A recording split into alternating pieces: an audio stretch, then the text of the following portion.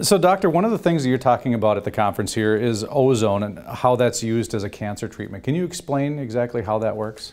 I don't call ozone a cancer treatment. Okay. I call it an adjunctive. It's a supportive treatment. Sure. And okay.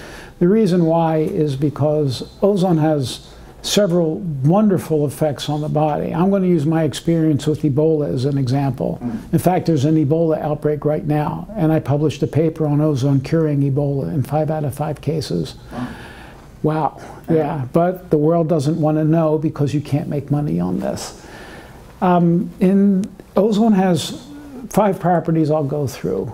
The first one is it improves rheology of blood. That means blood flow properties. It probably makes red cells more flexible. Um, red cells are larger diameter than a capillary. So something this big has to get through something that big. Okay. So it has to bend to get through. I believe ozone is good at increasing red cell flexibility. So you see less co coining or piling up. It's called rouleau formation. The second thing that ozone does is it increases 2,3-DGP, which helps release oxygen from hemoglobin. So now you're getting better circulation, better oxygen release. And then the third thing is the arterial venous oxygen difference gets larger. That has to be mitochondrial consumption because it's consumption of oxygen, which only occurs in mitochondria. So you're getting a triple whammy here just with oxygen. And we know that cancer thrives in a hypoxic environment. And there are studies that show that if you get more oxygen in there, the tumors behave less aggressively. Ozone has two additional properties. One uh, is it modulates the immune system through uh, increasing cytokines and interferons.